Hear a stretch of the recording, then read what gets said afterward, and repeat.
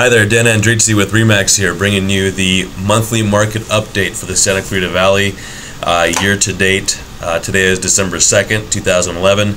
Last month we discussed the absorption rate and the fact that surprisingly the number of months inventory is showing us that it's a relatively strong seller's market in spite of what we're hearing in the news and what we're uh, we, we, think we're seeing out there in the uh, in the marketplace, talking to friends and neighbors, etc.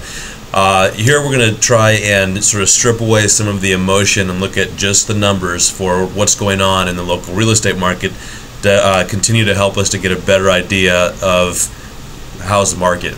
Uh, we're going to focus specifically on Valencia this month, uh, one segment of the Santa Clarita Valley. So uh, here we go. Uh, year to date, excuse me, currently our active listings are at 256. Uh, compared to this time last year, uh, it's actually fewer. Uh, there were 308 listings active uh, this time last year.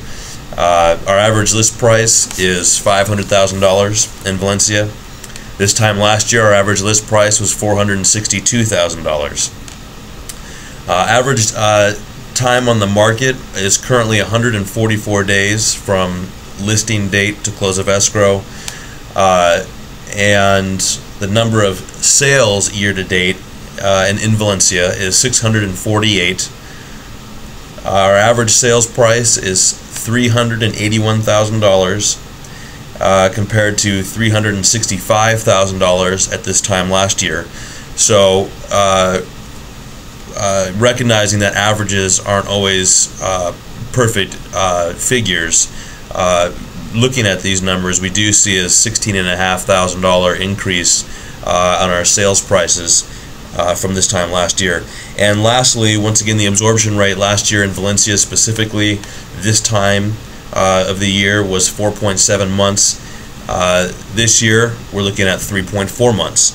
So, uh, once again, uh, reflecting that it is a strong seller's market out there uh, if you do have your home priced properly and you're marketing it properly and you have a strong agent negotiating on your behalf, uh, looking for that buyer who's going to hang in there and uh, pay you fair market value for your home.